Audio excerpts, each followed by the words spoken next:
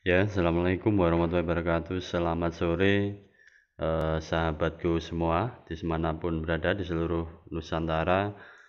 Untuk kali ini episode video pengiriman kelapa kopior genjah eh, ke kota pahlawan Surabaya, yakni ke Bapak Yusuf di Jalan Ngagel Surabaya.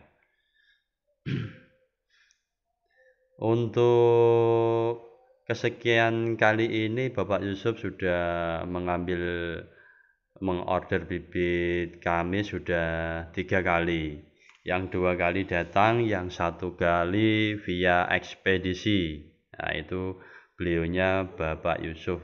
Nah, beliaunya itu banyak uh, ada beberapa uh, lahan di Jember, di Surabaya, juga Malang, juga Pesuruan. Nah, ini salah satu pengiriman saya yang ketiga kalinya untuk Bapak Yusuf.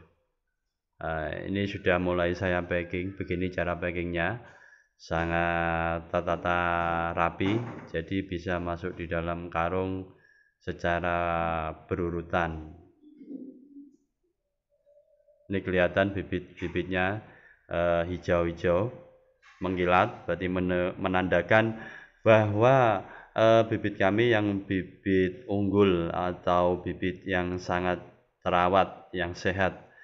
Karena secara perawatannya dilakukan secara berkala mulai dari pemilihan calon bibit yaitu butiran diambilkan dari PIT yaitu pohon induk terpilih yang mana banyak menghasilkan proporsi kopiornya itu yang uh, kering kita turunkan baru kita membuat bibitan.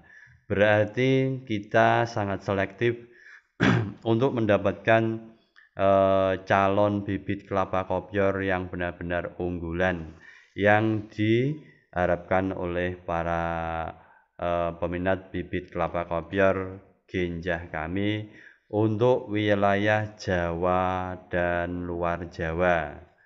Kami juga sering kirim ke luar Jawa, eh, Kalimantan, Sumatera, eh, baru-barusan Sulawesi, juga daerah NTT, NTB.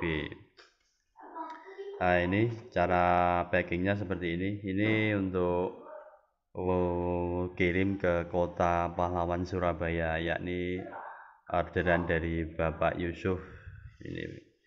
Ini terima kasih Pak Yusuf atas kunjungannya dua kali sama Ibu